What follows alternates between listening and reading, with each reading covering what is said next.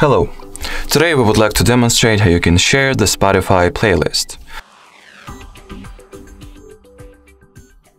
So first of all, open up to your library section. In here, choose what playlist you would like to share.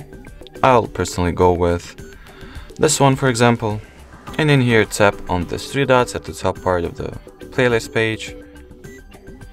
Scroll down, uh, this available options.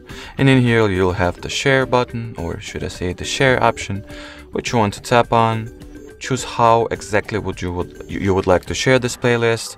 So you can share it through basically almost any app messenger app or any other social app that you have installed on your phone or there is a universal way to do that by simply tapping on the copy link option. So let me just open up the available share options once again in here you can simply copy this link and as you can see this link will contain the direct link to the playlist. Alrighty, so that would be it for this video. Thank you so much for watching and bye bye.